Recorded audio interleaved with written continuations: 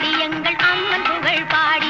यन्दटं दुर्वडी कं दुभैपाडी यन्दकं दुर्वडी बुद्धिर्बलम् यशो धैर्यम् निर्भयत्वम् अरोगता अजाड्यम् पाकपटुत्वञ्च हनुमत् स्मरणात् भवे